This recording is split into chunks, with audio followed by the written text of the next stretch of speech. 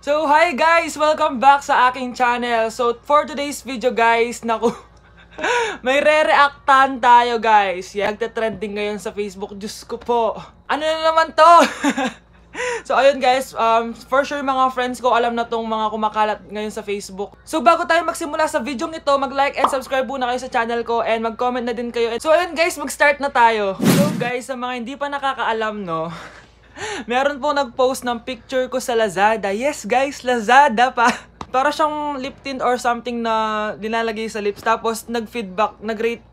I mean, nagbigay siya ng review niya, guys. Pero hindi yung product yung review niya, guys. Ako po yung review niya, guys. Ano ba yan? Kung sino man yung nag-post nun, ikaw ah. Mm. so, tingnan natin yung sinabi niya, guys. Ito siya. So, ito guys, yung sinabi nung isang nag-review dun sa product. Share ko lang, ang cute nang nag-deliver sa akin. Single daw siya. Yun yung totoo, guys. Ayan yung pic niya. Tapos nilagay niya yung picture ko. Lagi na siya pumupunta dito. Naging friends na rin kami. Lagi kami magkausap sa FB. Tapos minsan, inaya niya ako mag-milk tea like WTF. Sana all. My God, eto na ba? Kinikilig talaga ako as in. Ah! talaga may ganun. Iko-comment ko na lang yung review ko about this product next week. Kasi kakatanggap ko lang ngayon. Siya pa nag-deliver sa akin. Tinanong pa ako kung kailan kami mag-milk tea. Sabi ko pagkatapos ng module. sana all ate or ewan. Sana all po no. Hindi ko po alam na may love story na po ako. Ito talaga guys, uh, hindi po totoo na nagdi-deliver po ako or any hindi po ako parang taga-deliver ng mga parcels, gano'n. TikToker nga ako, guys. Vlogger nga ako. May time pa ba ako mag-deliver? Tsaka hindi nga ako marunong magmotor, guys. Grabe naman. Tapos linagyan niya ng 4 star. Yung feeling na hindi yung product yung review niya, yung nag-deliver ng review. Tapos eto guys, alam niyo ba guys na meron na siyang 19,000 reacts ngayon? Imagine. And 12,190 shares. Grabe, ang daming gusto magpa-deliver guys. Sige guys, pupuntahan ko yung mga 20,000, mga almost 20k na react. Sige, pupuntahan ko kayo. So, magbabasa tayo ng mga comments. May mga nagsasabi daw, ba't puro tatay, matatanda, or mga may asawa na daw yung mga nagdi-deliver sa kanila? Bakit daw walang bata? De actually guys, dito sa lugar namin mga matatanda talaga yung mga nagdi-deliver. Ewan ko, totoo ba to? Like mga may mga bata bang rider? Or gawa-gawa. Kasi guys, ginawa lang tong story na to eh. Pero di ko alam if may mga bata ba talaga nagde-deliver. Pero mostly, di ba, mga matatanda yung mga nagde-deliver. May nag-comment, sabi niya, check out lang ng check out, order lang ng order sa Lazada. For more chances of winning. yung feeling na mas excited ka pa sa rider kaysa sa product na binili mo. Sana all. Bakit sa Shopee walang ganto? Tara, lipat na tayo na Lazada. Lazada baka naman, na-promote yung app nyo. Kunin nyo na ako. Pero yun guys, bakit ang dami? Sabihin mo, salamat Lazada. Sa Lazada na lang ako mag-order.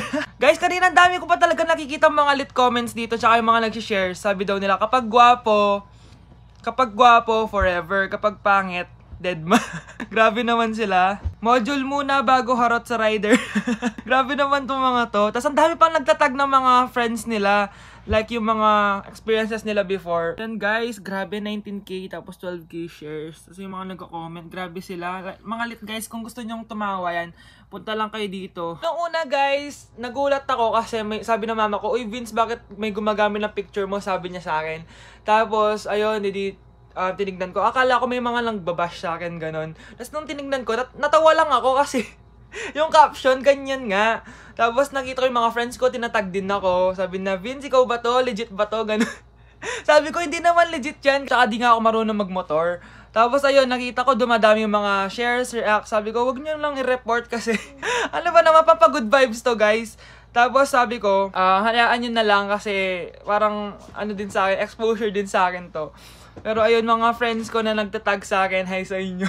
Gusto nyo di ba magpa-deliver? Sige, ako na mismo magpa-deliver. Baka gusto nyo ako na mismong i-deliver. Pero ayun guys, kung sino man yung nag-upload nun or nag-post nun sa Lazada, please PM me.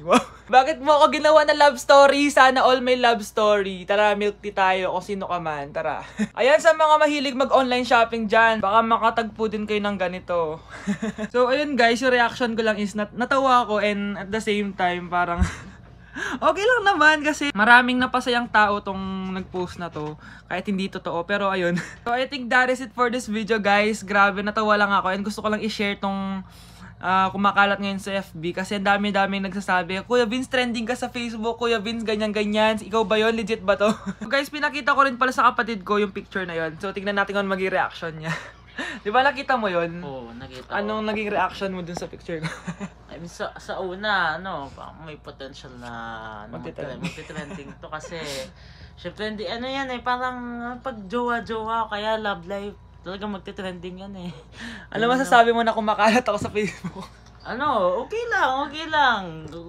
Maganda nga na kumakalat ka sa Facebook eh. Anong masasabi mo dun sa mismong post na nag-post? Ano ka, matalino kang tao. Shout out kay Ryzen Flores, kay Micah Fabelo Naig, and kay Loretta Santiago. Shout out sa inyo guys. I think this is it for this video. Maikli lang siya pero ayun, gusto ko lang gumawa ng reaction and ayun guys, see you guys on my next vlog. Bye Jelly Beans!